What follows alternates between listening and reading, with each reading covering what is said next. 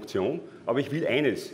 Ich will mich als Parlamentarier auf derselben Augenhöhe mit Ihnen unterhalten und auch befassen, auseinandersetzen. Aber es kann nicht sein, dass die Gewerkschaften das Parlament dominieren. Und es kann auch nicht sein, dass Gewerkschaften als geheime Wahlkampflokomotiven auf der einen Seite für die SP oder bei den Lehrern für die ÖVP benutzt werden. Auch das kann und darf es nicht geben. Liebe Kollegen von den Grünen, wenn Sie von Lohnerhöhungen sprechen, dann muss ich eines schon sagen. Das Geld, das man verteilt, muss zunächst einmal verdient werden. Und dazu muss der Staat die Voraussetzungen schaffen. Und da finden wir eine Regierung vor, wo Fragmente dieser Regierung hinter mir sitzen, die in fünf Jahren nichts zustande gebracht hat, in wesentlichen Bereichen in diesem Land, im Wohnbau, in der Bildungspolitik, in der Steuersenkung, in der Wettbewerbsankündigung etc. etc. Da haben Sie versagt, da haben Sie nichts zustande gebracht. Und über das müssen wir auch reden. Ich habe es satt, dass man hier fast unisono das die, die Jobsituation schönredet. Es fließt Milch und Honig in diesem Land, höre ich laufend. Das ist nicht so. Wenn Sie das Format lesen, dann wissen Sie, dass wir eine veritable Jobkrise haben. Dass in Österreich ein Paradeunternehmen nach dem anderen in die Pleite schlittert oder in die Pleite schlittern kann. Alpine als Flaggschiff. Und Sie haben eine ganze Liste. Kollege Dolinschek hat es heute bereits vorgelesen, hier im Format drinnen. Ist nicht von BZÖ. Niedermeyer, 97 Mitarbeiter verlieren den Job. Siemens, bis zu 1000 Mitarbeiter. Da hat mir erst letzte Woche ein Kollege von Siemens gesagt, die Gewerkschaft, und ich hoffe, Sie sind hier meiner Meinung, wird ihn nur dann vertreten, wenn er auch Mitglied dort ist. Also wenn er den Beitrag nicht zahlt, ist das kein Arbeitnehmer. Ein Arbeitnehmer zweiter Klasse. Das verurteile ich. Es ist ein freier Verein, ein privater Verein, aber ich denke, das sollte schon, wenn man schon so stark auftritt, auch für alle Arbeitnehmer gelten. Und die Liste geht weiter. Deli, 43 Personen, Triumph, 53 Personen, Greiner, 100 Personen und, und, und, und, und, bis hin zu AT&S, Kollege Andrusch sei noch hier erwähnt. Das heißt, Sie haben hier ein echtes Problem, dass man Zehntausende Arbeitsplätze in Gefahr sehen werden und da gilt es entsprechend zu handeln, gleichzeitig 400.000 Arbeitslosen in diesem Land. Und da kann dann der Kollege Hunsdorf als Minister nicht hergehen und sagen, wir haben eine solide Ausgangslage.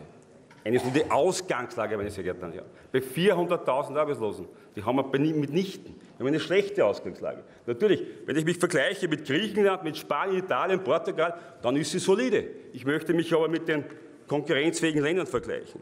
Und daher brauchen wir echte Maßnahmen, die uns nach vorne bringen und nicht nur wahlplakative Versprechen wie auch von der ÖVP. 400.000 Arbeitsplätze werden sie schaffen, habe ich unlängst gelesen. Ja, wo denn, Kollege Kopf? Wo denn? Sie als Politiker schaffen 400.000 Arbeitsplätze. Nein, mitnichten. Nein, mir fehlen die Aktivitäten. Und daher brauchen wir eine echte Steuersenkung in diesem Land, die wir durch Reformen leisten müssen, gegenfinanzieren müssen. Wir haben das vorgeschlagen. Wir haben die Vorschläge auf den Tisch gelegt. Denn nur wer genügend Geld hat, der kleine Mann von der Straße, den angeblich die SPÖ vertritt, dann kann er auch den Konsum wieder ankommen und was ausgeben. Dann kann er sich das Wohnen leisten. Dann kann er sich das Danken leisten. Dann kann er auch die Kinder ordentlich ausbilden lassen. Und daher ist das für mich ein zentraler Punkt. Oder wir wollen etwa haben, dass man die kleinen Betriebe, die EPOs, die KMUs besser finanziert, die von den Banken oft keinen Kredite mehr bekommen, wegen Basel III, was uns auch ins Haus steht. Basel II ist in Kraft, Basel III wird kommen. Noch höhere Eigenkapitalanforderungen. Na, was macht man denn? Ich sage es Ihnen ganz ehrlich, ohne Polemik. Bevor wir Kredite vergeben zur Euro-Rettung, an Banken, an Pleitestaaten oder sonst an jemanden, geben wir doch diesen kleinen Krediten Betriebsmittelkredite, Startkredite bis 100.000 Euro und übernehmen wir dort als Staat die Haftung, das Geld irgendwo in der EG ist zu versenken.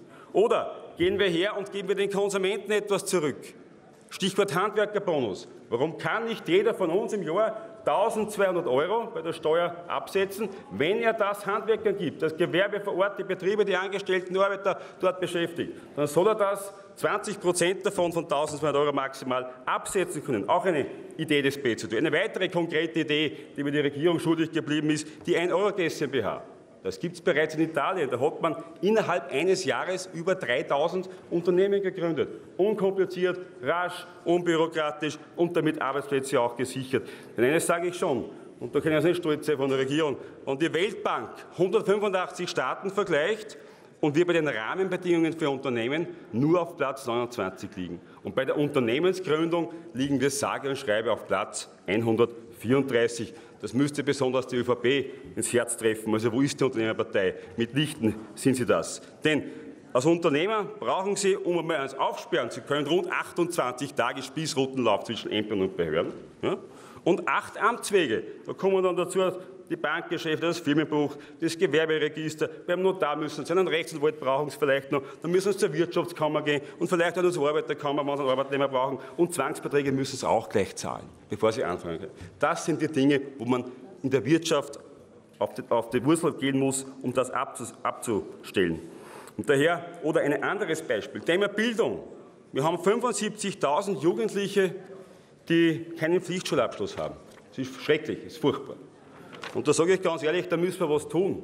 Denen müssen wir helfen. Und daher wollen wir auch eine Arbeitsmarktreifeprüfung haben. Wir wollen die so lange ausbilden, bis sie rechnen, lesen und schreiben können. Ganz einfache, banale Dinge. Und der Unternehmer dann weiß, wenn ich den nehme, der kann das auch. Und das ist auch ein Profit für mein Unternehmen. Also das wären die konkreten Ansätze, die man rasch umsetzen kann.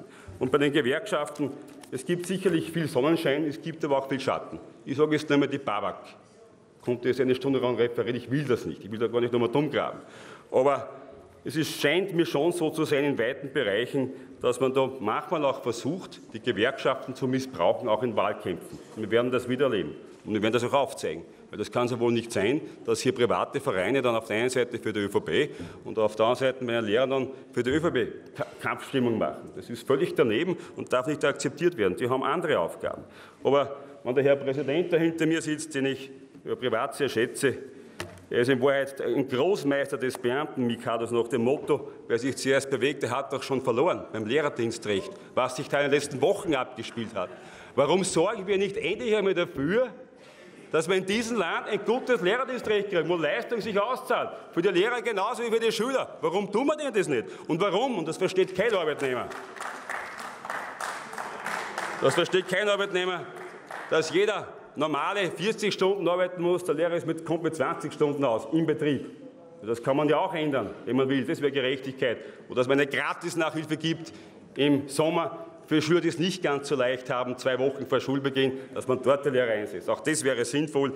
Und daher sage ich nur, weil es der Fritz so will, bleibt es bei unseren Schulen weiterhin still. Und das darf nicht sein. Und ich lade daher auch die ÖVP ein, hier Schwung hineinzubringen bei der Bildungspolitik, weil auch das eine Standortfrage ist und weil auch dafür die Gewerkschaften verantwortlich sind und sich auch ein bisschen bewegen sollten. Es gebe keine solide Ausgangslage in Bezug auf die Arbeitslosigkeit in Österreich. Mehr als 300.000 Arbeitslose sprechen eine andere Sprache, sagt Rainer Wiedmann vom BZÖ. Und jetzt